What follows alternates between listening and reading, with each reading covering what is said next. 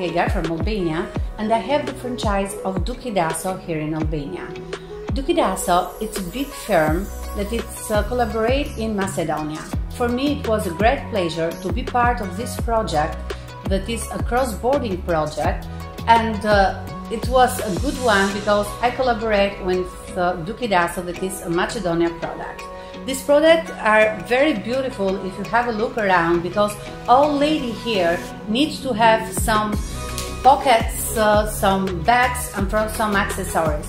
But Dukidaso, it's not only for the lady, it's for men too. So uh, both family can take all the, what they need here at our stores.